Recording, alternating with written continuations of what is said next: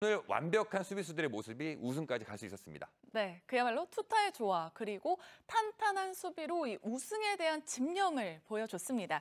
이렇게 SSG 랜더스가 통합 우승으로 최고의 시즌을 마무리 짓게 됐는데요. 우승으로 향했던 과정 살펴보겠습니다. 네, 일단 시작은 폰트 선수였습니다. 9이닝 퍼펙트 최초의 기록을 달성했고요. 김광현 선수가 통산 140승, 그리고 최정 선수가 17시즌 연속 10홈런이라는 또 최초의 기록을 달성하기도 했죠. 그리고 김강민 선수가 한국 시리즈 최초의 대타 끝내기 홈런의 주인공이 되기도 했습니다. SSG는 개막 후에 10연승을 달리면서 한 번도 1위 자리를 놓치지 않았는데요. KBO 리그 최초의 와이어 투 와이어 우승을 달성했고 오늘 한국 시리즈 6차전 승리하면서 통합 우승으로 시즌을 마무리 짓게 됐습니다.